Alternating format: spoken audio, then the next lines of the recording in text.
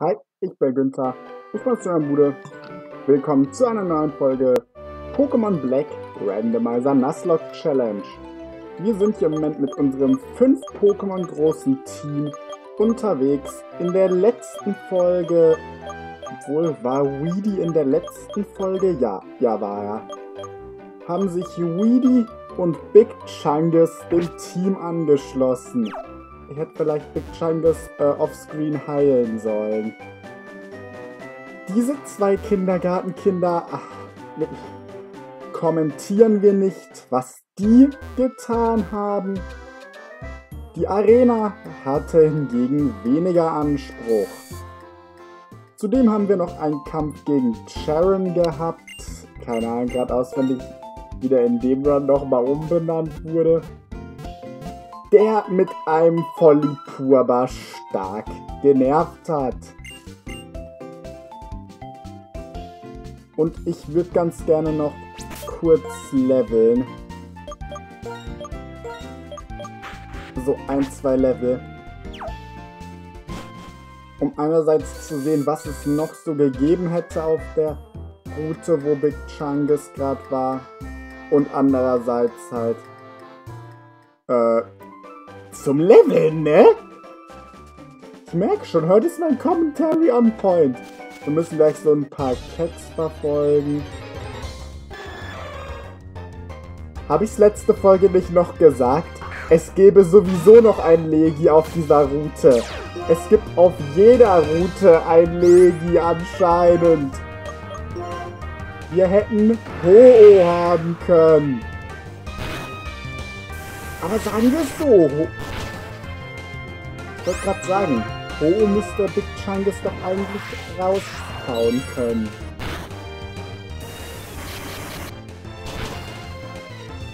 Ja, einer noch, dann wechsle ich. Die Sache ist die, ich würde zwar noch einen Weatherball überleben, aber kein Gast. Ich hasse Besieg. Den Witz fand ich super.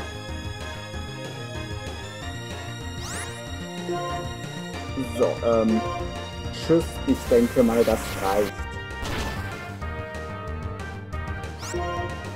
Aber letztendlich wird äh, vermutlich Big Chungus sowieso nichts anderes als ein Stunt-Double für Queendra. Ich meine, ich brauche halt nicht wirklich noch einen Wassertypen. Genauso wie ich auch äh, statt Weedy lieber was anderes im Team gehabt hätte. Ich mache noch ein Pokémon, werde aber direkt auswechseln. Absol. Okay, also John Cena, du hast bisher immer entweder völlig enttäuscht oder komplett überzeugt. Das ist doch ein Gegner, bei dem es wieder das zweite werden kann, ne? Der ist auch schon sauhoch gelevelt. Ähm, ich hatte nichts anderes vor. Absol ist nicht so heavy, jawoll. Ja, reicht noch nicht für ein Level. Also Level 11 will ich schon noch. Ist zwar immer noch wenig, aber... Kabuto weiß nicht, ob Big Chungus das down kriegen würde, aber ich gehe wieder auf John Cena. Er ist inzwischen echt hoch gelevelt bereits. Ich habe das Gefühl, der ist wirklich hier die äh, komplette Offensivoption.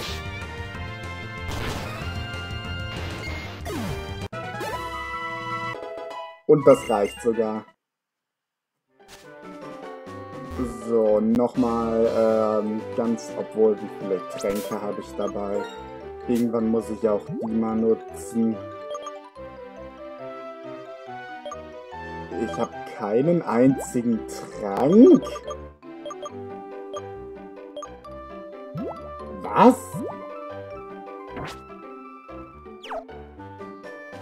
Ja, äh, dann gehe ich mich schon heilen und gucken, ob ich noch Tränke bekommen kann. Weil ich will eigentlich nicht so komplett ohne hier lang rennen. So. Ich weiß schon, dass wir jetzt eben zwei ähm, Kirchenmitgliedern folgen müssen. Übrigens, damit ich das mal anmerken darf, ich darf Witze über die katholische Kirche machen. Ich bin Katholik. Und ich nehm's auch niemanden übel, der es nicht ist, wenn er welche macht. Hä? Elf? Mal, hab ich Kot auf den Augen? Hab ich Kot auf den Augen? Bin ich dumm im Gehirn? Was mach ich hier gerade? Ich bin in jeder Form zurückgeblieben. Das liegt nur an der Walross-Edition dumm, ich sag's euch. Äh, ja. Ja, ich wollte nur gucken, ob da unten überhaupt was ist, aber ich glaube, da geht's dann weiter. Ja doch, da müsste es weitergehen, nachdem wir hier oben lang sind. Ach, die Höhle ist hier direkt. Ich dachte, hier wären noch ein paar Trainer unter. Das ist halt die Sache jetzt. Ja, wahrscheinlich.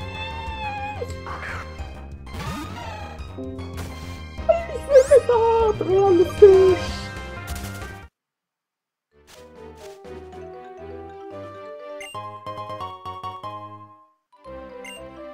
Komm aber, Trainer.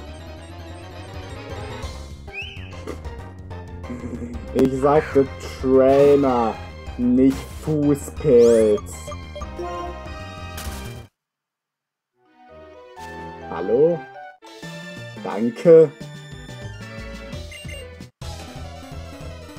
So, komm, geh vielleicht nicht zu sehr ab, wäre ganz nett.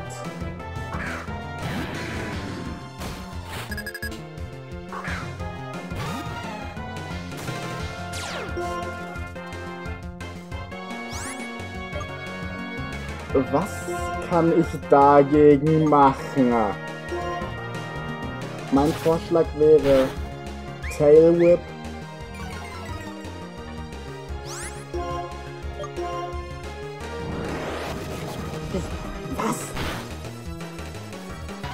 Was? Die Attacke habe ich deaktiviert!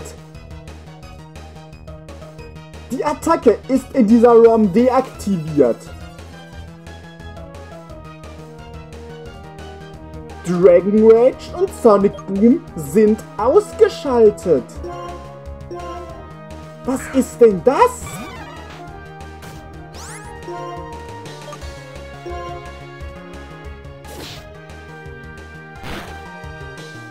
Aber John Cena kann uns noch mal retten.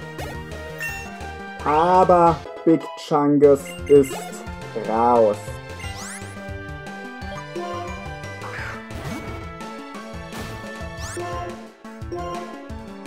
Also bisher war ich eigentlich großteils enttäuscht von John Cena, aber im Moment wird er hier gerade so ein bisschen zum Carry. Der hat Karateschlag gebraucht.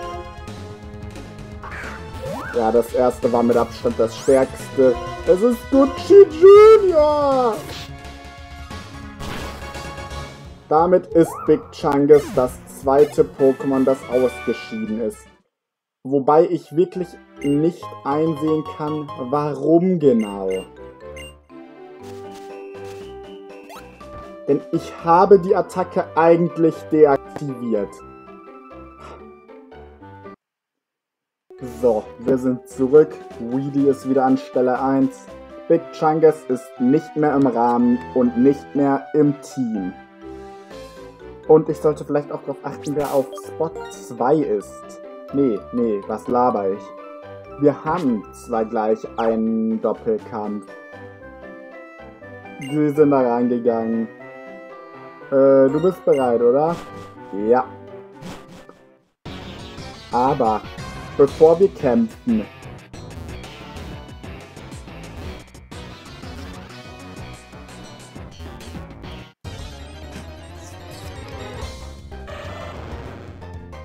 Das hört sich eigentlich ganz cool an. Was? Was? Günther verfolgt mich überall. Günther ist wieder da.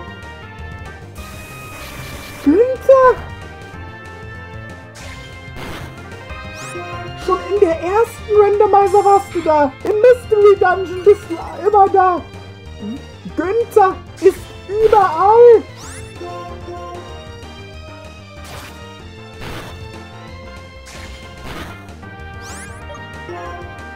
Günther ist überall.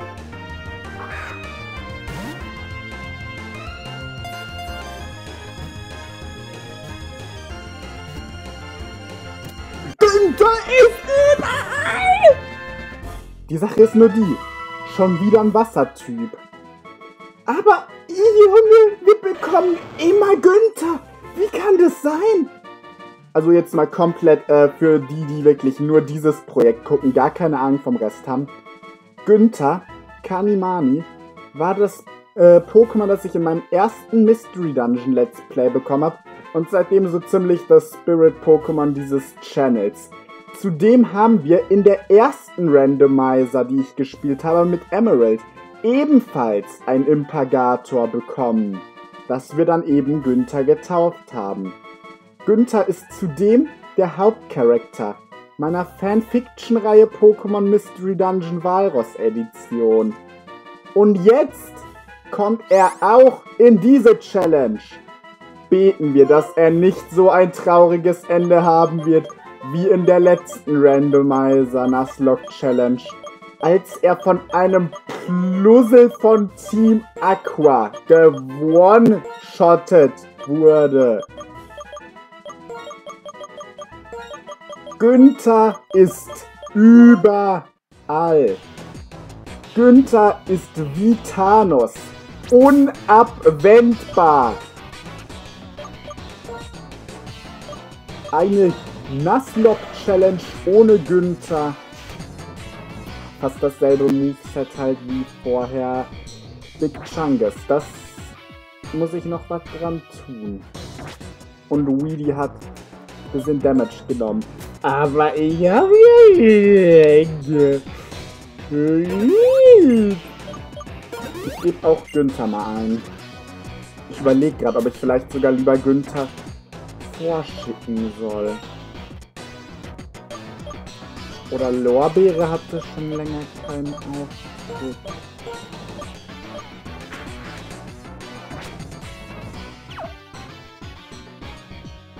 Walross, ja. Doppelkampf zusammen mit Sharon. Und äh, äh, Günther kommt nach dem Kampf in den Rahmen. Und ich dachte, es gibt jetzt einen Doppelkampf, ähm, in dem ich und Sharon im Team gegen beide kämpfen.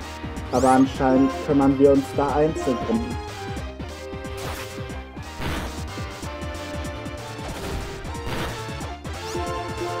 Das macht beides nicht viel.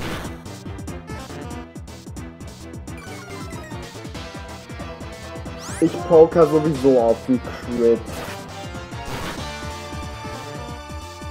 Ja, der senkt jetzt einfach meinen Angriff in die Hölle. Dann senk ich deine Verteidigung. Ah, okay. Dann nicht. Günther raus, Rudi rein.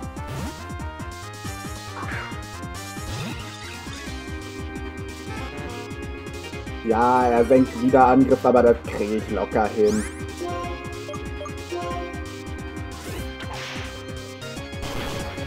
Ja, das war's. Das war's. Läuft. Das ist Mann Jacqueline. Ich meine Trans Rights. Oh.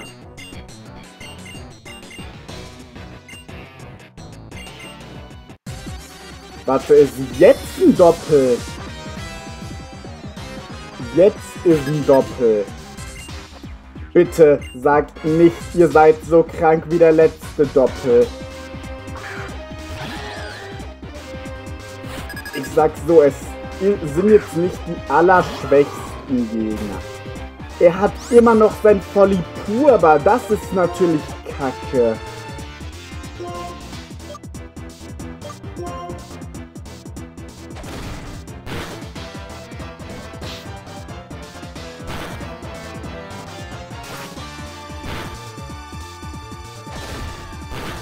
Die Ekligen gehen beide auf Günther.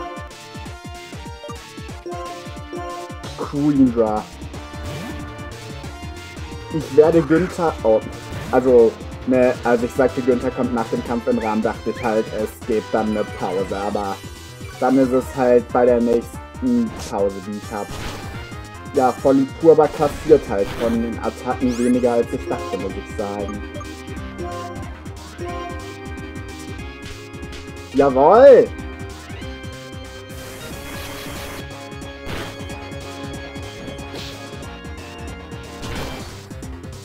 Polypurba tankt gut und hat ein Item. Aber die Sache ist hier, eigentlich müsste das komplett random sein, dass der wieder ein Polypurba hat.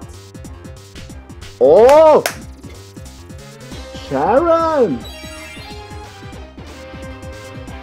Ja, das ist schön für dich.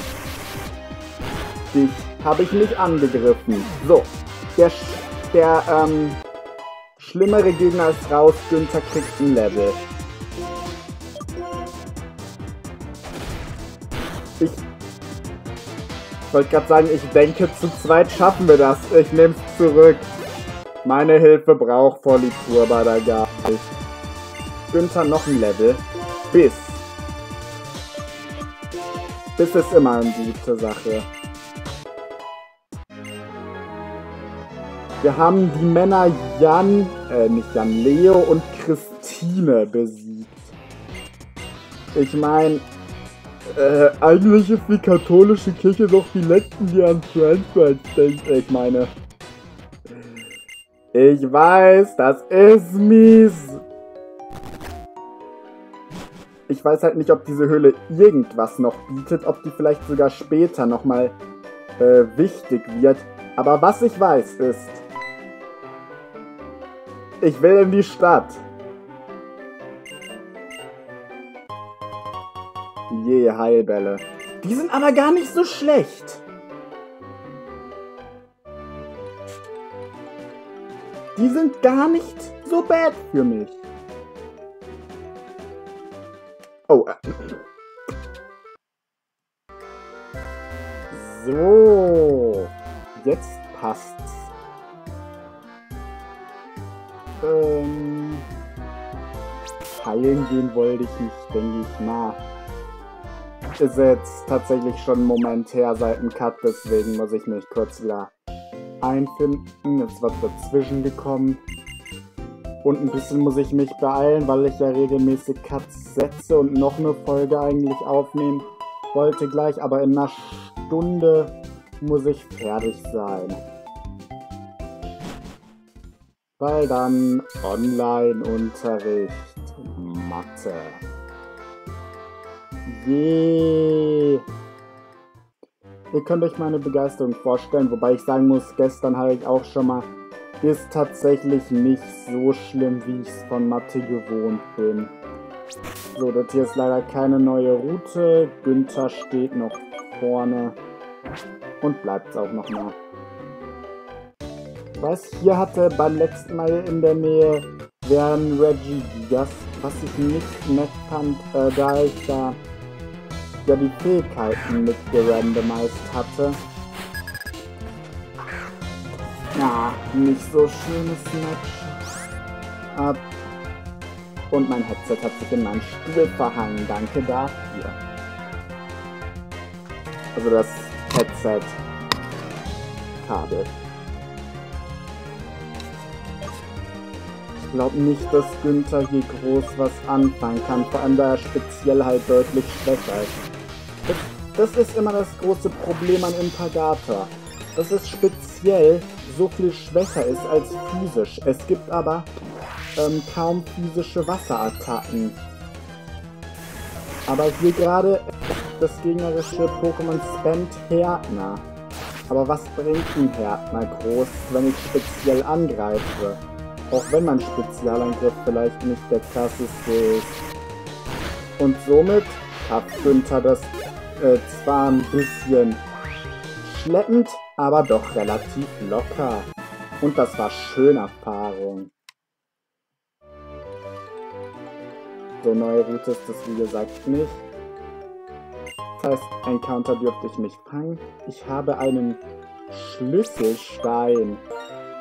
Stimmt, habe ich eingeschaltet überhaupt. Das, also die Standard-Items schon, oder? Das ist, äh, Krypux-Stein. Du willst aber nicht schon wieder kämpfen, oder? Der erklärt mir nur, dass da Doppelkämpfe in dem Kampf, in dem Gras getriggert werden. Gibt es da ein Item? Hallo, erstmal. Ich weiß noch, dass ich das letztes Mal zum Leveln genutzt hatte, um was zu entwickeln. Ja, okay, das schafft Günther, denke ich mal auch. Ich würde auch sagen, wir machen halt äh, diese und die nächste Folge nicht so lang, damit das zeitlich auch klappt schön. Das heißt, wir werden vermutlich relativ gleich schon beenden. Günther Level 15. Das dauert ja nicht so lange im Leveln.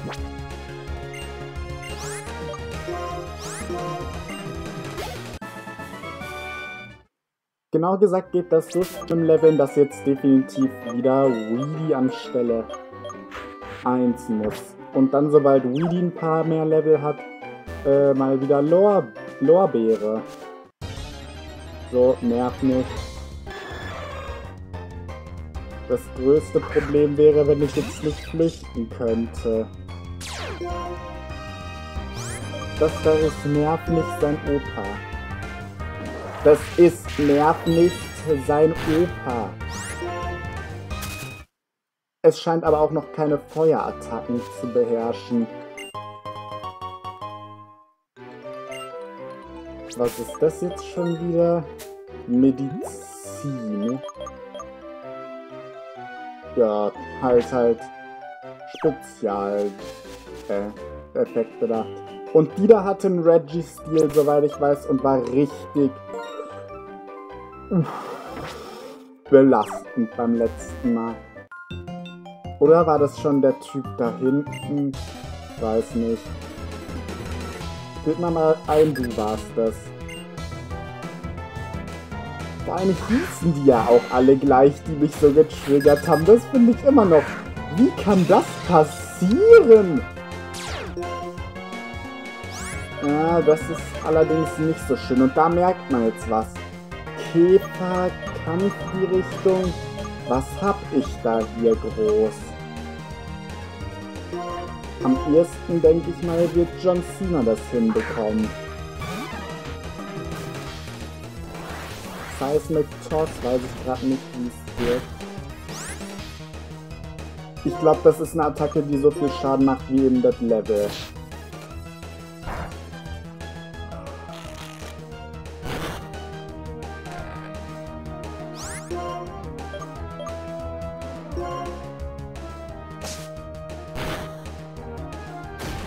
Könnte hier sehr knapp werden.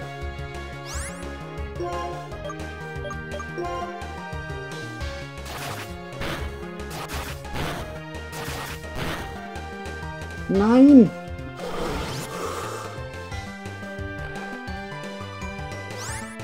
Das tötet, das tötet, das tötet, das tötet.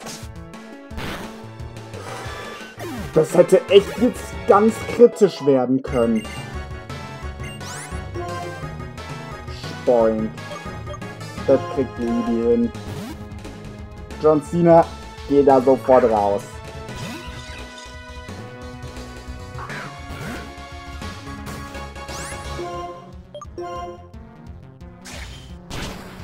Ja, no problem. Kurz ein bisschen Erfahrung.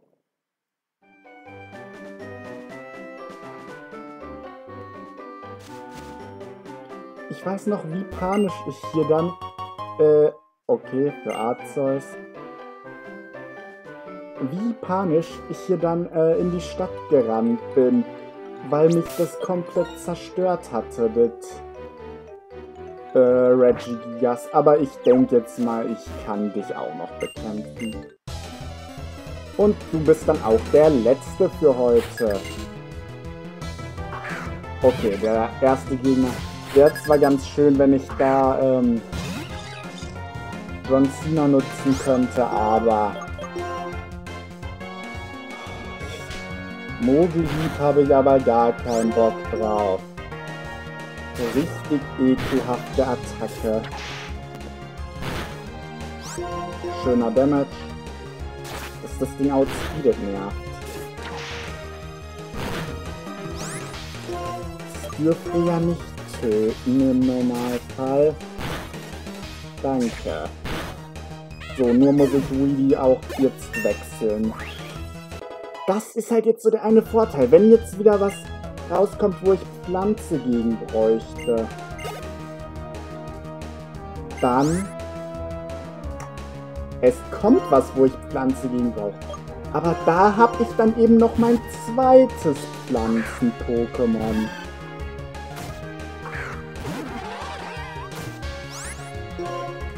Hoffe jetzt einfach, dass das Ding auf dem Level noch keine Eisattacken beherrscht.